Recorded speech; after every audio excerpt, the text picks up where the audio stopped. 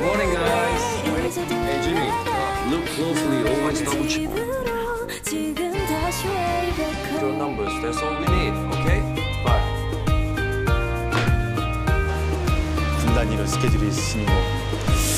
자, 제가 울기는 왜 울어요? 저 그런 캐릭터 아니에요.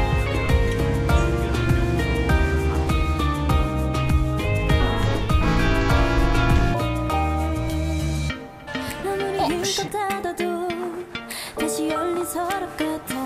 아, 왔어요? 그러게.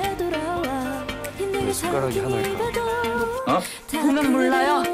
한 입 정도는 먹여줄 수도 있겠다. 아, 내가 연락을 못했네 오늘. 그니까요.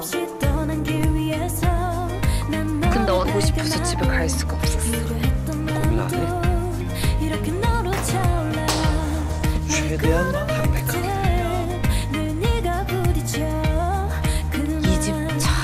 참 탐나네. 아버지 요양원에 계시다고 했잖아요. 아, 근데요? 응, 그건 좋아할 것 같아. 어차피 아버지는 못 와. 숟가락이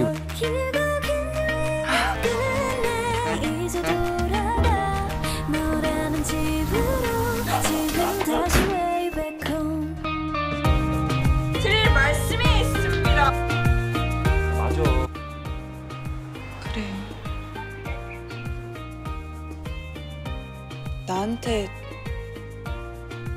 쪽팔려서 그래요. 끝났다.